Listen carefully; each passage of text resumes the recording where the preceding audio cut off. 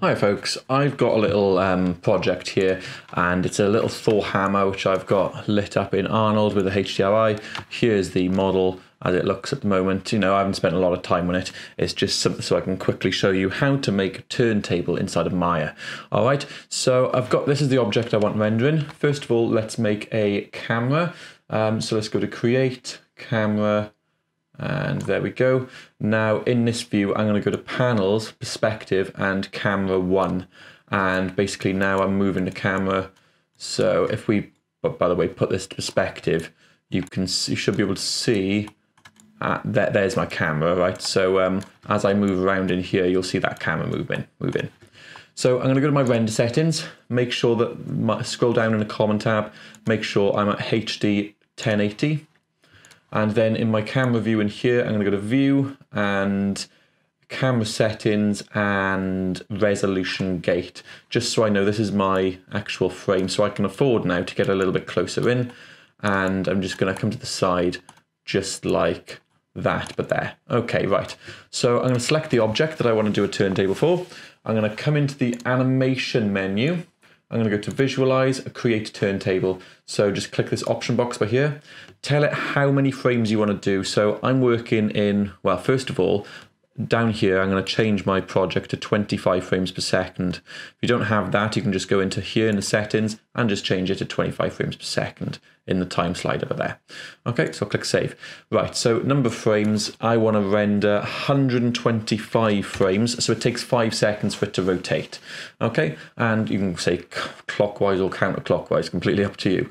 Um, and just make sure obviously you've got your object selected, and I'm just going to click um, apply, clockwise is fine. Um, so get rid of this now. So yeah, this is basically what you've got. So the camera spins around the object, okay? Um, so that now, if I just play it through, um, there we go, that's my turntable. Yours may actually be playing really fast. If it is, just go here and playback speed. if it's saying play every frame, it'll go really fast. Just change it to 25 FPS times one, or if you're in 24 FPS, it'll say 24 FPS times one. But yeah, just click that, save.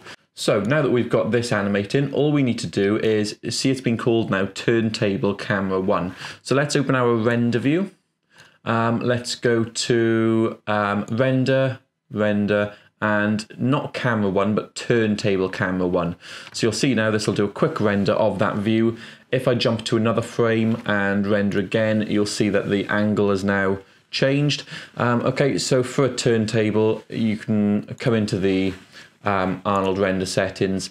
For the for a beauty pass, I'm I'm not going to turn all my samples up to make it perfect. I'm probably just going to go two two two two, and you can see that's that was three seconds of render. Let's see what two two two two does. Um, so let's save that. Let's just do a quick another render. It may bring it down to two seconds.